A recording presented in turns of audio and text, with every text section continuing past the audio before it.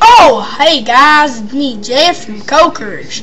I'm just replying to um how to make fried rice by um I think it's I T K M A M.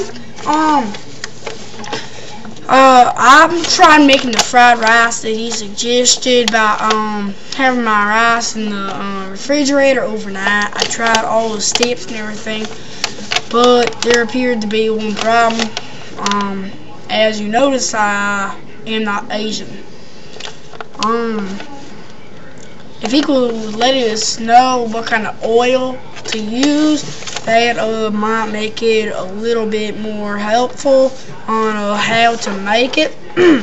you also might want to tell us uh, what the prep time might be for this uh, certain kind of fried rice because I tried frying some and uh, I kind of burnt myself because I tried, you know, tossing it like all the good chefs do. But when I tossed it, didn't work out too well. It kind of like came out and uh, it was really hot and stuff, so it really hurt. But um, I just suggest that you guys uh, try making this. If you're a good cook, you know you might be able to make it, but um, it's kind of hard to do if you're not Asian. Um, you also need a wok. Uh, that is an important uh, need in the fried rice frying business. And um, I prefer teriyaki sauce.